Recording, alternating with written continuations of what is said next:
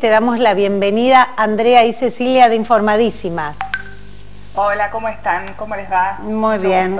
Gracias por atendernos, bienvenida aquí a la radio y al canal del ECO. A ver, Cecilia, en líneas generales, queríamos Romina, eh, Romina. perdón, eh, queríamos conocer un poquito de qué se trata este espacio, ¿no? Donde, bueno, te vas a comunicar con mucha gente para hablar sobre el rol de la mujer en tiempos de COVID. ¿Por qué hacer esta diferencia? ¿no? ¿Por qué las mujeres y los hombres por otro lado?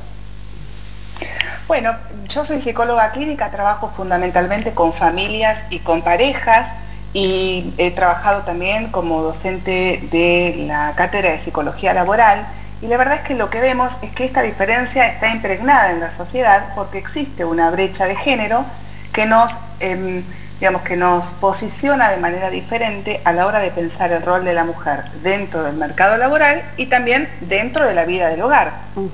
Hoy en día, en Argentina, por ejemplo, la mujer realiza un promedio de seis horas diarias de trabajo no remunerado dentro del hogar, ya sea eh, en tareas domésticas como en tareas que están referidas al cuidado de, los, de las personas, de los hijos, de los enfermos o de los mayores.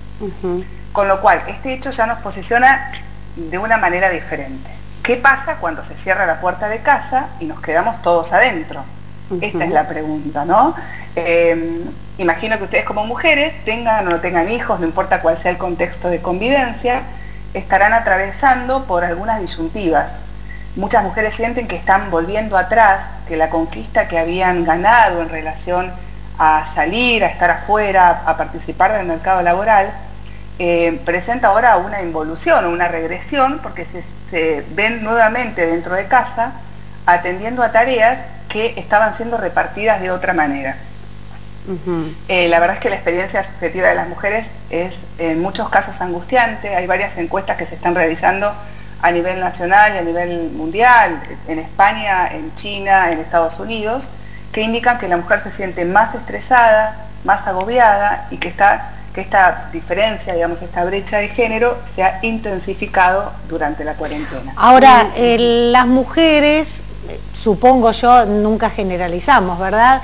Pero en momentos de crisis es quien eh, a veces es la que lleva más adelante esto de, bueno, hagamos esto, hagamos lo otro.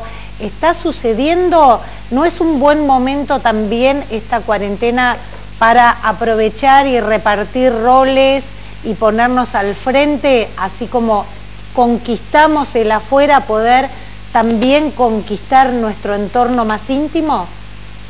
Sí, es interesante lo que decís porque, bueno, por ejemplo, la Universidad de Mar del Plata está realizando una investigación eh, acerca de cómo viven las personas la cuarentena y una de las cosas que está observando es que hay muchos hombres que están empezando a valorizar de otra manera la tarea doméstica y de cuidado.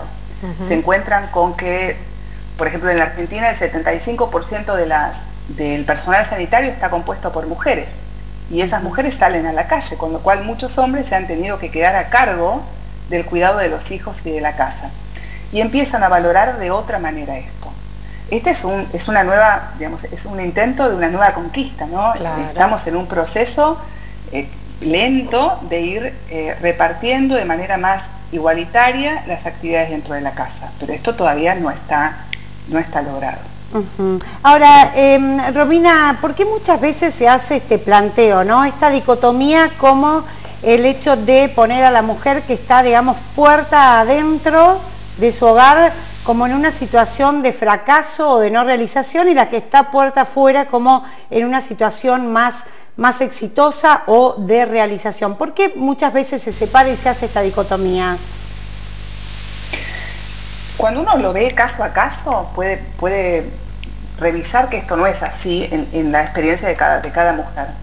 Pero la cuestión de género está plagada de estereotipos, ¿no?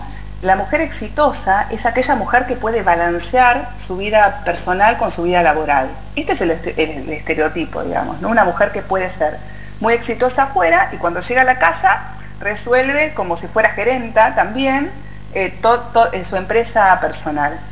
Em, el fracaso no está dentro de la casa. Ser ama de casa es algo absolutamente valioso. La cuestión es que ese es un trabajo no remunerado. Y en un, en un contexto eh, donde la producción se mide en términos de dinero, el trabajo no remunerado pasa a ser poco valioso a la hora de competir. Eh, vemos, por ejemplo, que en este contexto de cuarentena han aumentado las denuncias de violencia porque hay muchas mujeres que trabajan en ámbitos informales, que en este momento están desocupadas, que no reciben ingresos, y la dependencia económica muchas veces termina sosteniendo situaciones de convivencia no deseadas en un ambiente de violencia. Entonces, claramente ahí hay una sensación y esto Y esto, Romina, atraviesa eh, todas las clases sociales, porque, a ver, el tema de la violencia, el tema de la despersonalización, el tema de la dominación de, un otro por el, por el, dinero, justamente, esto se da en todas las clases sociales y a veces, eh, no a veces, en la mayoría de los casos muy difíciles salir, pedir ayuda por la vergüenza, porque qué van a decir, porque después de tantos años, a veces la misma persona víctima, digamos, no se da cuenta, le cuesta entender que está dominada por ese otro que le hace creer que es quien es porque está a su lado. Sí, y vos sabés que eso pasa en cualquier situación de violencia, no solo contra las mujeres. Nos ocurre en el caso del bullying con los chicos. O sea, qué responsabilidad tenemos los, los que miramos la escena, ¿no? De poder cortar con eso que está ocurriendo. Somos como sociedad responsables de haber asignado la responsabilidad justamente a la mujer víctima de violencia, en seguir reclamándole por qué no, por qué no lo denunciás, por qué no salís, por qué no haces, por qué no te defendés.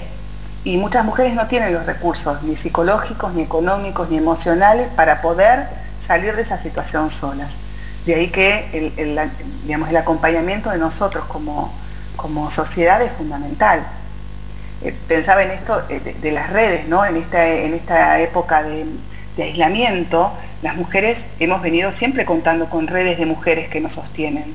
Las abuelas, las madres, las tías, las amigas, las que sostienen un poco esta sobrecarga de trabajo no remunerado que llevamos. Y esta red hoy está truncada. Entonces el sentimiento de soledad, el sentimiento de, agotamiento es aún mayor porque estamos alejados de esa red que nos venía sosteniendo. Romina, a ver, eh, por eso mismo y por todo esto que estamos analizando, la idea de esta, esta charla que van a ofrecer a través de Zoom trata precisamente de eh, canalizar todos esos, esos sentires, contarnos un poco cuándo se va a realizar y de qué manera uno puede participar. Bien, la charla lo organiza el Movimiento Desarrollista, me, convocó Ana Freites, que es una de las autoridades a nivel nacional del área de mujer, se va a realizar mañana a las 18.30 por Zoom. Em, hay que inscribirse previamente enviando un mail a la dirección midmujernacional.gmail.com y durante el día de mañana va a estar llegando la dirección, el link, digamos, para entrar y poder eh, participar de la charla. Va a haber una moderadora, van a poder hacer preguntas, va a haber un espacio para el intercambio también. Es gratuita, ¿verdad? Y sí, es gratuita. perfecto, perfecto. Un, buen espacio, un buen momento para aprovechar y despejar dudas. Y bueno, eh, a veces, eh, como bien decía la licenciada, una amiga, una compañera, eh, es quien te puede salvar o quien te puede ayudar. Y a veces en estos espacios se dan cuenta que las mujeres no están solas, no estamos solas, y siempre hay alguien que te va a dar una mano. Así es. Romina Tirilili, muchísimas gracias por esta comunicación con la radio y con el canal del ECO. Ha sido muy amable. Muchas gracias a ustedes. Hasta luego. Hasta luego. Muy bien, la licenciada en Psicología, Romina Tirilili, invitándonos a este espacio. Vamos a repetir el mail, eh, porque a través de esta vía de comunicación después les mandan el ID para participar en el Zoom. Es MID Mujer Nacional, MID con I latina, arroba gmail.com, aquellos interesados en participar, bueno, lo pueden hacer y como bien decíamos con la licenciada, por ahí encontrar este espacio ¿no? donde canalizar todas estas eh, situaciones, bueno, que nos pasan sobre todo como mujeres.